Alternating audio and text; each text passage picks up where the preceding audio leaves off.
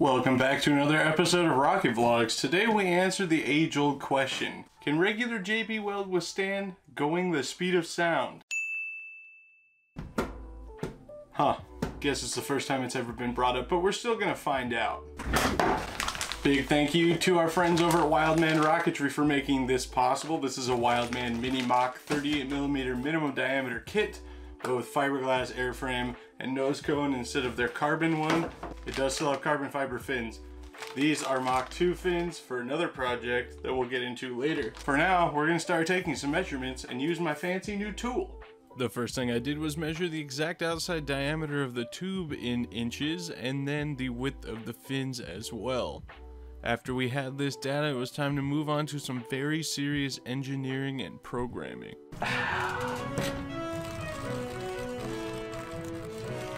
Of course, that's true, but I wasn't the one doing the engineering or programming. Somebody else already did it, but it's a super cool interactive file with changeable parameters so you can make a 3D print file for a fin alignment guide for any size rocket. It's super, super cool. I'll put the link to it in the description. You can do it with fin cans too. After I got the alignment guides where I wanted them, I slammed them in Cura and then set it up to print. Oh boy. It was printing so good, I swear. As soon as it comes time to perform though, no shot. Alright. I cleaned the build plate, sprayed it with hairspray. Had really good luck with that in the first place. Don't know why it didn't want to stick this time, just on that side of the bed, so we auto leveled it. We just gotta roll out everything. Hey, look at that. Auto leveling seems to be working.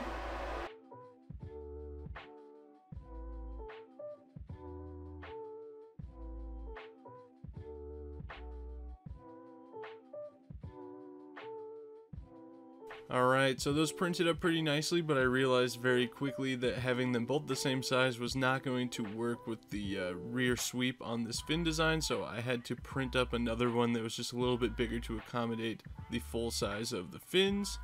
After that was out of the way, I was ready to glue everything together, so I put the fins on one at a time, and by that I mean I was going to, and then got super greedy and put the last three on at once. Then after 24 hours of drying, I just peeled off my fin alignment guides and set them aside to use in case I ever make another 38 minimum diameter.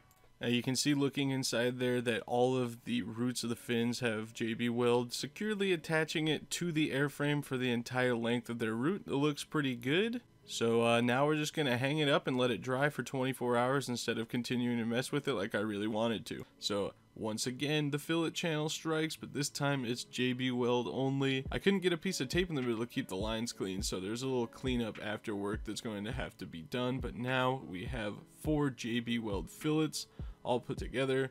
So now I had to address where I'm going to anchor the shock cord. Since I'm flying this minimum diameter and using motor deploy, I can't modify the front of the motor and just attach a shock cord to it like I did with my 54 minimum diameter. Well, I've got a 3D printer now, so I used that as my solution. I 3D printed this little cylinder that's going to be glued into the upper part of the airframe, and I'm attach my shock cord directly to that, and then attach it to the eye bolt in the tip of the nose cone, and voila, this thing's ready to fly. Oh, guys, it all seemed so easy, didn't it? It was supposed to be a simple project just to test the JB Weld. That's all I wanted to do. I wanted to put on a show, but spectacularly, I wanted to put a DMS Aerotech i500 in this, which RAS Aero says would go 13,000 feet and Mach 1.33. So I even got one. RAS Aero says that this rocket on an i500 will go 13,000 feet and Mach 1.33. That's not my concern. The JB Weld's gonna handle it. I promise that I'm almost positive.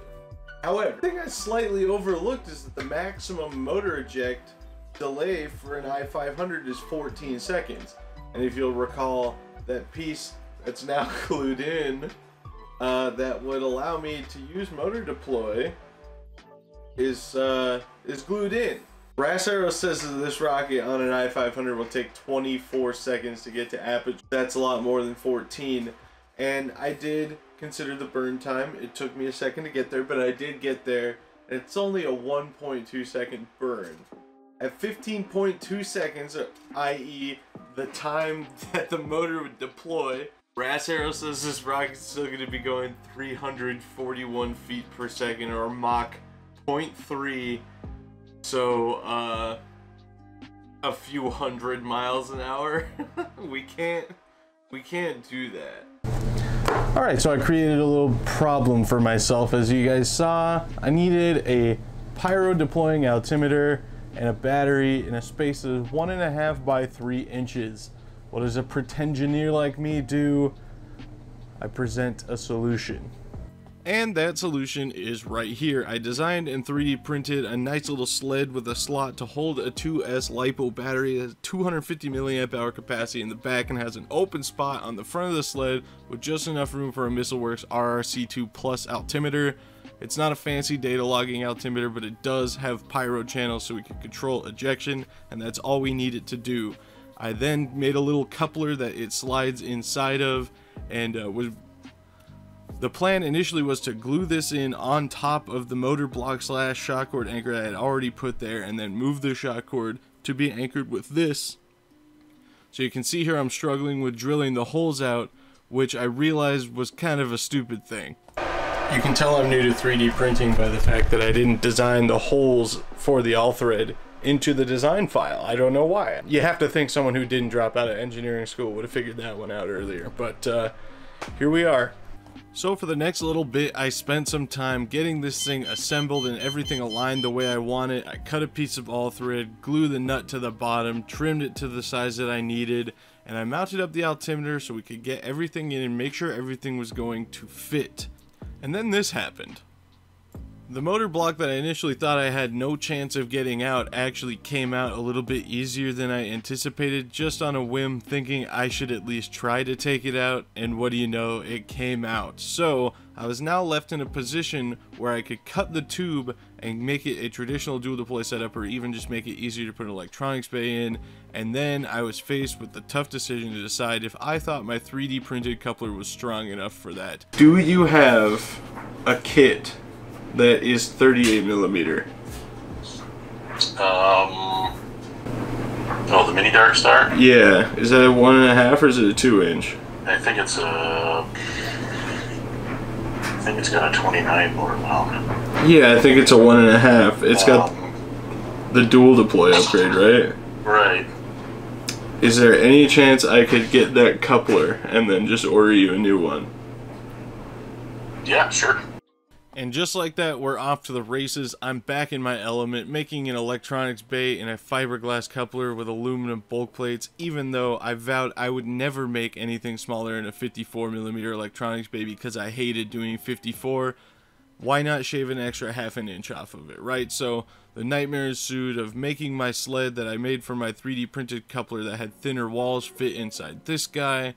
Then using the actual i500 motor case, I measured out where I needed to cut the tube and then I cut the tube. After that, we got the coupler put in, drilled all the holes. There's four rivets. It's not separating right here. It's only popping the nose off. It's not dual deploy. Drilled all the vent holes and drilled my halfy switch hole. That serves as an easy middle ground to get my switch wires out of so that I can just quickly twist them together, tape it to the rocket, and then fly it. And then guess what? This happened. Make sure my motor still fits or I'm gonna go crazy. Oh. Hey guys, Braden here. Let me save you from all the swearing. I cut on the wrong side of the blue tape I used to mark the tube, so it was about half an inch too short to fit the i500. So I cut the coupler even shorter, and then cut my sled even shorter. But it is all together now. The moment of truth. I have yet to test fit the i500 in there since I cut the coupler down. Everything is in, and I have yet to fire the altimeter back up since I had to stuff it into a ex almost exactly 3 inch coupler, which is funny because now the fiberglass coupler is pretty much the exact length, a little bit longer than the original 3D printed guy. I had designed. The amount of times this design has changed in the past few days is hilarious, but now we have a lot more room for uh, activities. Because I, I have managed to fit a whole 18 inch parachute in that nose cone pretty easily and it came out pretty easily but we're not like I said we're doing a streamer no dual deploy nothing fancy. I didn't even want to put electronics in it and now you know why all right step one i500 come on okay we're good. And that means it can fit any 720 load as well because here's my nice Desert Fire 720 case. J500, no problem. Hey, just in case you didn't know, Jo-Ann Fabric sells ripstop nylon in a few different colors. I made this streamer. It's not pretty, but it'll function.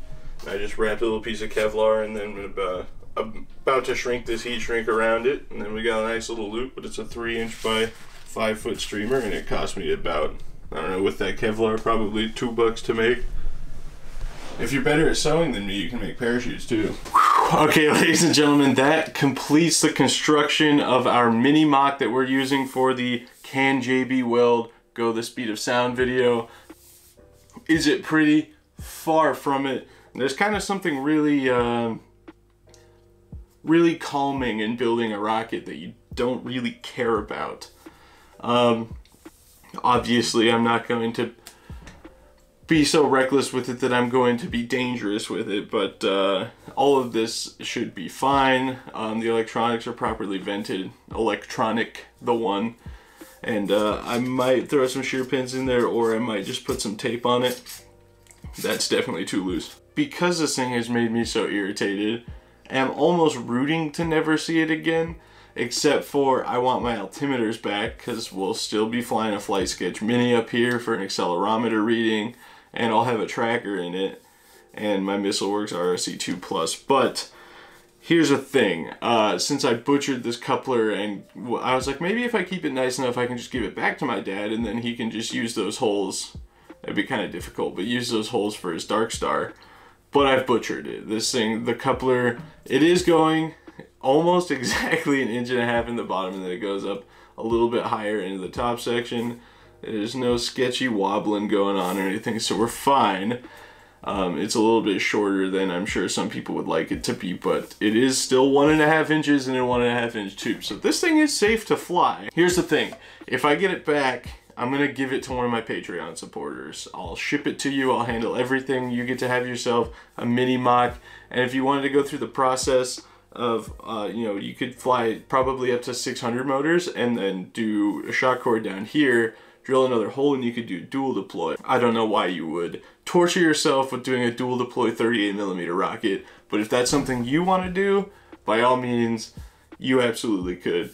So yeah, I mean, the the rivets aren't lined up even slightly. I just eyeballed everything and it is built with JB Weld. But um, yeah, so I'm going to give it to one of my Patreon supporters if we get it back. I'm going to keep the altimeter. This thing's not going to be subject to a lot of fin flutter opportunities just because the fin span's so short, but they're so robust because they're carbon fiber. Um, I think this thing's going to be just fine. Simulates to about Mach 1.3 and in ideal conditions, which this isn't in like 13,000 feet, um, I'm gonna say as long as the fins hold, it's gonna probably do 11 and a half. And then, uh, oh yeah, so people were asking about motor retention. Um, just tape, I'm just friction fitting it. Uh, if you guys are familiar with my Big Daddy that's always in the corner here, this flew last year at Airfest on a uh, CTI K740. And that rocket doesn't have a retainer either. It was just friction fit with masking tape and it came back just fine. You just have to know how to do it. And then I might run some aluminum tape around the thrust ring here. But uh, all in all, this is going to be the last construction part of this video I post. The next thing you're going to see is uh, me putting it on the launch pad. Oh, I got to do rail guides.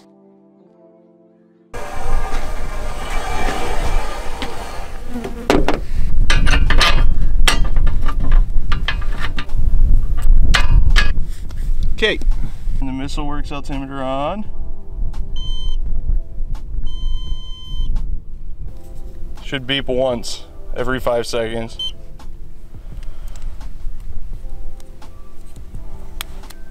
Main charge only. We're good to go.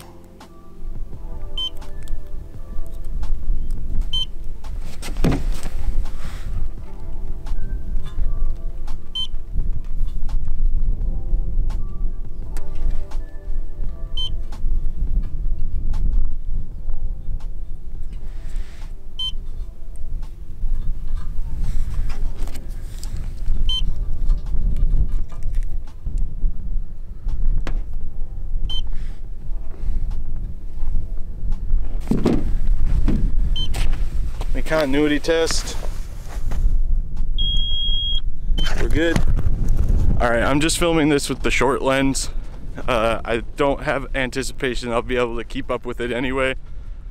It's like a 71 thrust of weight. So I'm gonna get the best I can and then we'll go find it. Sorry while I figure this out. Um, we have JB Weld Warrior, Braden Carlson. It's an I-500. Little bitty rocket, gonna go way high. Um, 10,000 feet. So, uh, we probably won't see it for very long. Five, four, three, two, one.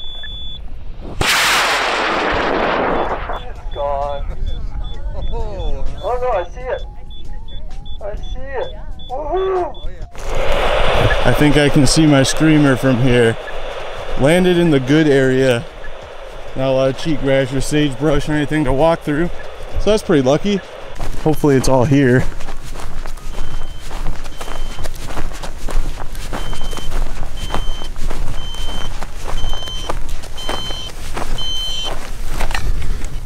Hmm.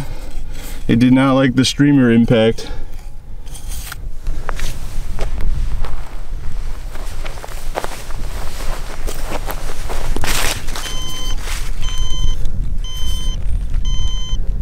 Ninety-eight twenty-six. Um, the rail guide made it all the way down. Unfortunately, my flight sketch mini did not. It looks like it came untied. I double knotted it, but I didn't put any tape around it. So. All right, I looped back around, kind of walking towards where the rocket went up to see if by some slight chance an orange box pops out at me, but my hopes aren't super high. Um, but yeah, overall good flight. With a chute, it wouldn't have broke the fins, but it probably would have landed three miles away. Um, so, yeah, no more flight sketch. I almost taped it to the shock cord like the tracker too, even though it's got the little Kevlar leader. And then I didn't, and I should have.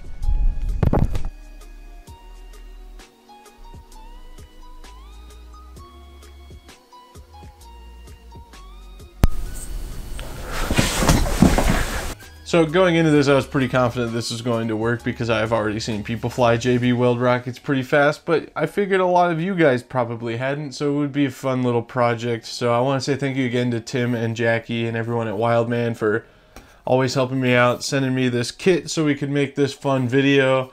And uh, I'd like to do more stuff like this where it's, you know, a, a start to finish project built and flown in one video. I've been working on this video for the past couple weeks, and uh, I didn't intend on it having electronics in it, as you guys saw, so we had some workarounds to do, but we got it done. We flew it, we got the rocket back. We lost my flight sketch altimeter, which is unfortunate because it's really hard to get your hands on right now, but and I had never even flown it before. The only reason I wanted it was for proving how fast it went.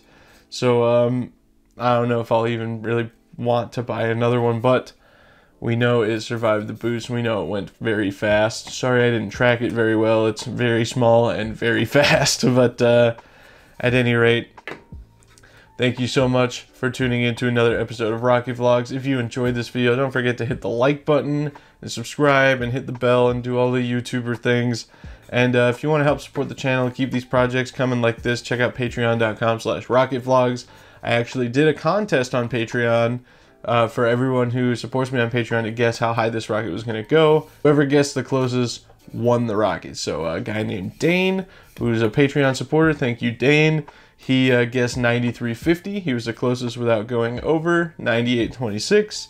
So he gets this rocket. Unfortunately, the fins are broken off, but uh, maybe he can uh, get some more JB Weld on there and fly it on something even crazier, like a J570 or something like that.